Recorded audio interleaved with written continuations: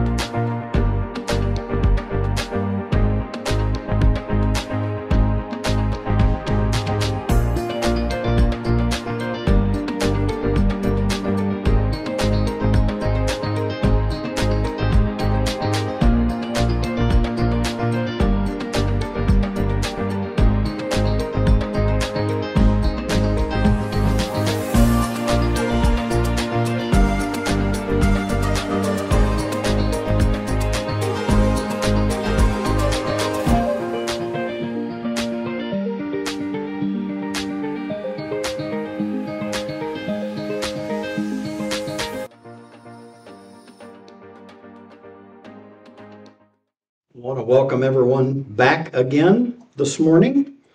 Uh, Those here in the sanctuary, we have some of our seasonal folks that are beginning to make their way back down to Florida. We've ordered the very best of weather for them. Uh, It's cool, the humidity's low, and, uh, but they tell me that driving down was a little interesting with all of the trucks on the highway. So we welcome everyone that is back with us. We welcome our new online viewers, folks that have joined us and are joining us this morning for the very first time. So God bless you for being part of our online congregation. You see OGFMC there on the front of the pulpit. And uh, we invite you to go there, check out our website. And if it's something that, that you would like to follow us or be a part of that, send us an email and we will make sure that we put you on our mailing list. We are in the fourth week of our sermon series of five weeks, just to give you hope that I'm not going to run this down for 25 or 26 weeks. Uh, but this is week four of five weeks in our sermon series, Words Matter. And we've been learning some really interesting things. Those of you that uh, are joining us for the very first time, do not fear. Uh, all of the previous sermons are li- listed there on the website, so uh, you can always uh, go back and get caught up. But we live in a world, I'm gonna, this is probably going to shock you, all right? So brace yourself, get a hold of something. We live in a world filled with conflict. Conflict.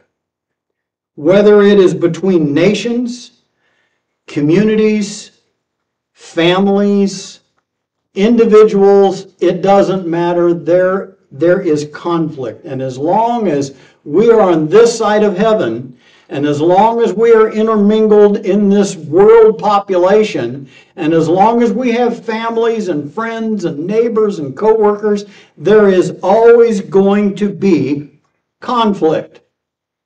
That's not to say that conflict is sinful, but how you deal with it can be. So we're taking a look at how words can actually be fighting words in the way that we say things and the way that we take things. But have you ever stopped to wonder why we fight? Now, if you have two small children in your house, you don't need a reason. That's just sibling rivalry. And that just happens. And if you only have one child in your house, I heard a fellow say one time that that doesn't even qualify you to be a parent because if something gets broken, you already know who did it. You don't have to hear, Will you stop touching me? Or I didn't do it, they did it. They said it first. That's not my fault. You, you don't have all of that. So children, sibling rivalry, and it doesn't even stop when you become adults because you have all that baggage that you can take right into adulthood with you. But what is really behind the quarrels that so often erupt in relationships? James gives us an answer that points inward, not outward. It's so easy to place the blame on a conflict on someone else, isn't it? We say, well, it's, it's not my fault, it's their fault. But James doesn't say it's because of politics. He doesn't say it's because of other people's actions. But he does tell us that it's something happening within each one of us, our own desires. So this week in the sermon Fighting Words, it explores how these desires give rise to conflict and how we can change the way that we handle them. Let's pray. Lord, we ask that you would please help us to identify and work through the sinful brokenness inside each and every one of us. We ask you to heal us, Lord, from our misaligned motives that can cause quarrels and fights among us. Redeem our internal lives, Lord, so that our external ones may bring you glory in and through all things we ask in your name. Amen. In this book of James, we encounter a letter filled with practical wisdom that challenges us to respond to God's word in ways that transform our lives. I don't know if you think about the word of God as something that can transform you, or do you just look at it as a book that gives you some guidance? Do you see it as something that can really, utterly change your life, or do you see it as just good advice for living. James, the brother of Jesus, by the way, doesn't shy away from urging believers to go beyond intellectual belief and embrace a faith that is lived out in everyday actions every single day. He makes it clear that faith must not remain confined to thoughts and words. Instead, it should manifest in tangible responses that reflect God's words and to reflect God's Spirit within each and every one of us.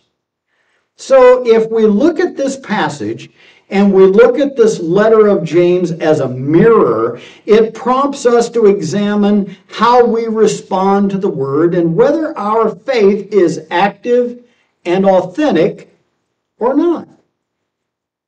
That last truth I mentioned is especially evident when we consider how our internal sinful desires are at the root of the external fights and quarrels that break out among us. So I want us to take a look at this really short passage. It's just three verses. James chapter 4, verses 1 through 3. I'm reading from the New Living Translation. And it says this What is causing the quarrels and fights among you? Don't they come from the evil desires at war within you? You want what you don't have. So you scheme and kill to get it. You are jealous of what others have, but you can't get it. So you fight and wage war to take it away from them. Yet you don't have what you want because you don't ask God for it. And even when you ask, you don't get it because your motives are all wrong. You want only what will give you pleasure. I don't know about you, but when you read that, you say, whew, boy, have I seen that in my life or have I seen that in the lives of others? Have I seen that between nations and peoples and religious groups? I mean, it, that conflict is evident everywhere, and you don't have to go back a long ways in history. Although, if you do, you'll see the same pattern that goes on for centuries. Nation rising against nation to take what that nation has because they don't have it, but they want it. Now, I wish I could remember the name of the song. Um, you'll probably be able to help me out with this, but there there was a song in the early 70s that that uh, was a song about people warring against each other and when they finally were able to to conquer the people they went up and they turned over the rock where the secret was buried and all it said was peace on earth that's all it said yes one tin soldier rides away that's it. Can you remember the who did it? yeah, it was on the movie Billy Jack, right? So it goes back a ways. So see, I've got I've got this intellectual group here that can help me answer these questions. But what is the root of conflict then? How do we look at all of those things and what is the cause? What makes that come about? It is, according to James 4 1, selfish desires.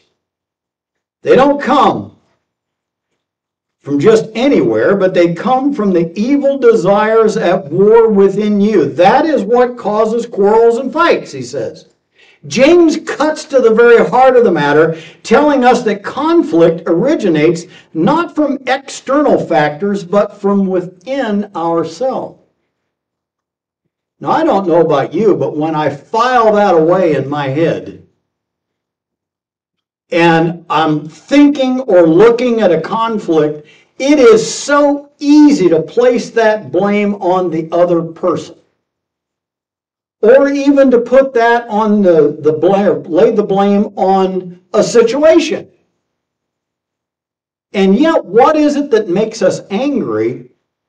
It's us. I had a fellow tell me one time, he says, You know, you choose to be angry. And there are times that I get angry. That is not the time to remind me that, you know, you're angry because you choose to be angry.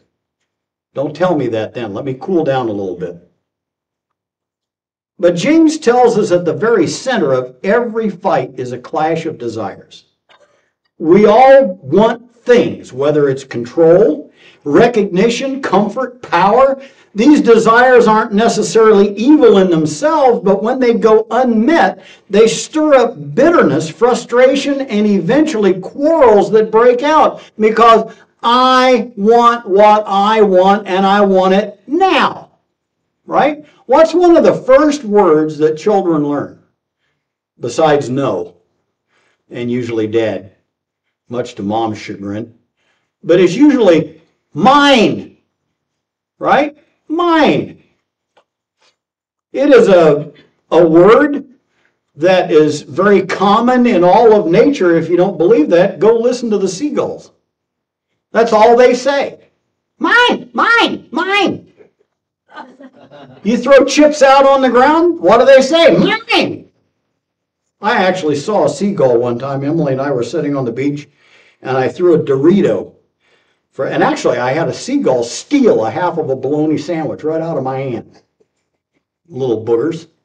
But I threw this Dorito chip out on the sand, and the seagull came over and he was keeping all of the other seagulls run off, so we thought like we owed him something, you know, helping to pay his rent or whatever. So I flipped a chip to him, and he picked that chip up, and he ran down into the surf, dropped the chip in the surf, flipped it over a couple of times, and picked it up and ate it. Too much salt. no, yeah, too much salt on the chip. But Emily watched this bird do that, and she goes, you know, that kind of bothers me a little bit. He he thought that through. You know, he's got a plan, right? He had a plan. He, for whatever reason, he dipped it in the water to, you know, to make it softer. We don't know. But seagulls, they scream out mine all the time. Think of the last argument that you were in. What was driving you?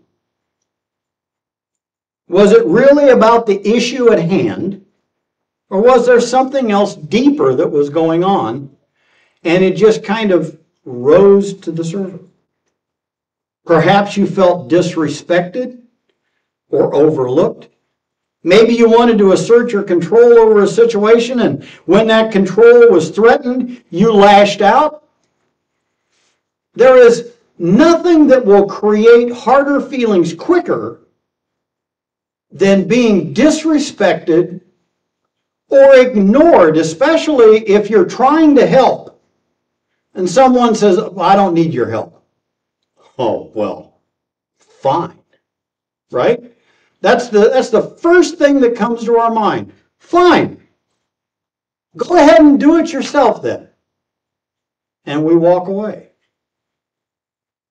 And we still see them struggling. And we may relent and go back and help. But be honest, don't we look at that situation and say, I'm glad they're having a hard time with it, right? I mean, be honest. That's what we're thinking. but James invites us to look honestly at ourselves, asking us to admit that many of our conflicts are born out of selfish ambition. The internal battle spills over into our relationships, leading to quarrels and fights. It can be difficult to be honest about this, to admit our own brokenness, but we all have it. We don't want to say it's our fault. It's, it's way too easy to blame it on someone else to justify our own actions. So we need to take a step back and examine our own hearts. When you feel tension rising in a conversation or a conflict brewing, ask yourself, what do I really want here? What's the goal? What am I trying to accomplish? Is it more important for me to be right, to win, or to be understood? Or is it more important to seek peace and preserve the relationship? Identifying your underlying desires can help diffuse a situation before it escalates. We find that in Genesis 4, we had two brothers, Cain and Abel. Abel gave a sacrifice to the Lord that was accepting and pleasing to God. But Cain, for some reason, his attitude and his offering was askew, and he was jealous of his brother. And you know why he killed his brother? Because he didn't have the relationship that his brother had with God. Probably the first religious conflict on record. He was angry with his brother. And his brother said, Why, why are you angry at me? If you would have done the right thing, wouldn't God have accepted your sacrifice, your offering as well? So why are you angry at me? And rather than trying to talk it out, Cain killed his brother.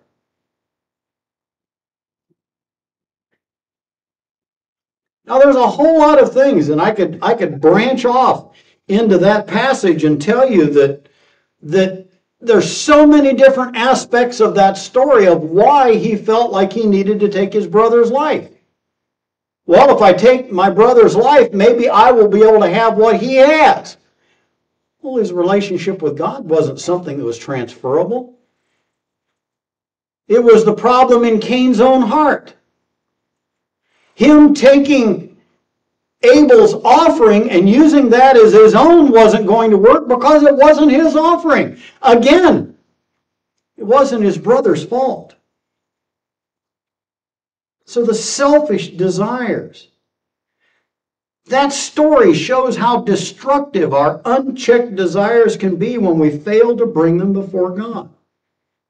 So selfish desires. Secondly, unmet desires lead to destructive actions. You want what you don't have, so you scheme and kill to get it. Nobody ever take, takes a thief to court and the judge looks at the thief and says, Well, why did you steal it? It seems to be kind of a stupid question. Why did you steal that car? Well, I didn't like where it was parked. No. I wanted it. And I'm going to take it and I'm going to sell it or I'm going to whatever. It was for selfish means. The judge never asked somebody why you did what you did. They just see whether or not they're guilty. James goes on to describe what happens when our desires are frustrated. They lead to harmful actions. We may not literally kill someone, but we often kill relationships with our words. We kill trust with our actions, or we kill peace with our bitterness. You see, when we covet, that's desiring something that's not ours, and we're not entitled to. When we long for something that doesn't belong to us, we are willing to harm others together, whether through manipulation, gossip, or outright aggression. Have you ever had somebody lie about you and it's not true? How did that make you feel? And what was the motivation for that lie? This echoes what Jesus taught in Matthew 5 21 and 22 where he equates hatred in the heart with murder. It's a sobering thought that the conflicts we harbor, even those we think of as small, can have spiritually destructive consequences. It doesn't take a big situation to burn our life down. Reflect on the way that unmet desires might be affecting your relationships this morning. There are situations where your frustration over not getting what you want has led you to act out in anger, whether through harsh words, passive aggressive behavior, resentment. All of these actions tear down and tear at the people around you. When faced with unmet desires, we must choose between feeding the frustration or surrendering the desire to God. It's a choice. In the same way that we choose to be angry, we choose to surrender that attitude or that choice to God, or we choose to take it out on someone else. Now, I've got to be honest with you. You go to a customer service counter and you're trying to get help, and you're not getting what you're expecting, it's easy to make that person the target. And it's extremely difficult to look at that situation and say, what is God trying to teach me here? That's just not generally the way we think. But we want to lash out because that's what we want. That's what we deserve. Now, that's not to say that people in service industries and such that they haven't unperformed or didn't perform properly or adequately and you're trying to get some type of satisfaction for what you paid for. That's a different situation.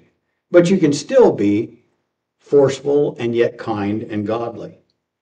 Saul's unmet desire drove him to irrational, violent actions, chasing David to kill him out of fear and jealousy because he knew that David was going to be the next king. Well, if I kill David, then I get to stay king, right? But that wasn't God's will and way. This is obviously the outcome that we want to avoid as we take our broken desires and sinful frustrations to God. It requires us to take a good, hard look at ourselves. But then, thirdly, the misuse of prayer. I find that term in itself to be bizarre. Misuse of prayer. How in the world can you misuse prayer? James says you don't have what you want because you don't ask for it. And even when you do ask, you don't get it because your motives are wrong. You only want what will give you pleasure and you want it now, right? Finally, James shifts our attention to how we approach God with our desires. It's not just about the fact that we have desires, but how we handle them. We all have desires. That's the way we're made. Do we take them to God in prayer or do we try to satisfy them on our own? And when we do pray, are our prayers driven by a desire for God's will to be done, or are we simply asking Him to fulfill our own selfish wants? Big difference. James calls us out in this passage for asking with the wrong motives. Treating God, believe it or not, like a vending machine to fulfill our pleasures, rather than a loving God who wants to shape us according to his will. We want what God can give, and God, gimme, gimme, gimme, gimme, gimme. True prayer is about aligning ourselves with God's heart, not just seeking what we want. We have to consider how we approach God in prayer. Are you asking for things that will ultimately glorify Him and bring you closer to His purposes? Or are you asking out of selfish ambition? When you feel frustrated because your prayers seem unanswered, ask yourself, Am I praying with the right motives? You see, true prayer seeks transformation of the heart, not just the fulfillment of desires. True prayer happens in a relationship. And within that relationship, we learn to trust the outcome no matter what happens. Prayer to God is in the context of relationship. Think about how Jesus teaches us to pray. In the Lord's Prayer, he says, Your kingdom come, your will be done on earth as it is in heaven. That's a common statement. We've repeated it a thousand times in our, in our lifetime. But this is a model of how our prayers should be aligned with God's will. Instead of focusing on personal gain, we're called on to surrender our desires to God and trust that His will is best for us. And I'll be honest with you, it takes real practice to pray that way. It doesn't come easy. And it takes an ample dose of humility, but trust me, it's worth the effort. So how do we how do we bring all of this together? James in this passage exam, calls upon us to examine our hearts and our approach to conflict. It's complicated because we are complicated. It's difficult because our deep seated sin and brokenness are difficult to uproot our own will and our own way. We try to reason with ourselves or strike a bargain with God, when in reality we should surrender to God's will and seek what He is asking of us. Here's several ways that we can put this message into practice this coming week. Here's your homework. Examine your desires. Whenever you face a conflict, take time to reflect on the underlying desires driving your frustration and ask yourself is it a desire for control, comfort, or approval? Why am I doing what I'm doing? Why do I feel this way? Bring these desires before God and ask Him to purify your motives. It doesn't mean that that isn't there, but you're asking God, help me to understand it and help me to deal with it. Secondly, surrender to God's will. Rather than fighting to get your own way, learn to surrender your desires to God. It does not mean that your desires don't matter, but it does mean that trusting that God's will is more important than your own is paramount. Thirdly, pray for transformation. Let your prayers become more about transformation than getting what you want. Ask God to align your heart with His, to give you a desire for peace, humility, and love, even in the midst of the conflict. And then, fourthly, seek peace, not victory.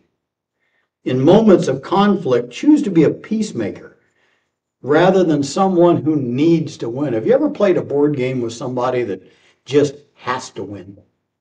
At all cost. Have to win.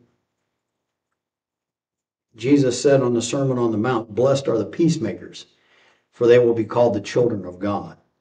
So by applying these principles, and others that we learn throughout the book of James. We can move away from quarrels and fights toward a life marked by peace, humility, and a deeper trust in God's provision and purposes. And hopefully, along the way, we even get to experience a little bit of that peace that transcends all understanding. That's what the Apostle Paul talked about in Philippians. So, what are we going to do? Are we willing to surrender and to live at peace, recognize what is right and what is wrong? That's not to say you will never disagree. You know, there's an old statement is this a hill worth dying on? When you really look at things, you look at that and you say, no, it really isn't. It's not that important. And attitudes and emotions can rule the day. And if you can just back up and take a solid look at things, you'll be amazed at how God can work through each and every situation. Amen? Let's pray. Almighty God, thank you for this word.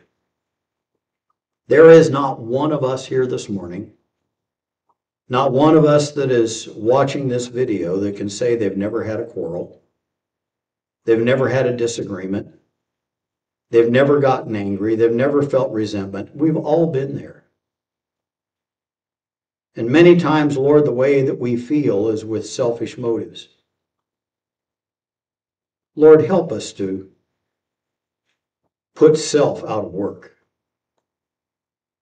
Help us to put you in control of our life in every situation, even the difficult ones where we can feel neglected or misunderstood or angry, ignored. Help us, O oh God, to rest upon your peace and to allow your spirit to guide us in everything that we say, in everything that we do, in the way that we act and react. Help us to be people of peace, people of love, people guided by your Holy Spirit in all ways and in all things, we pray in Jesus' name. Amen. In my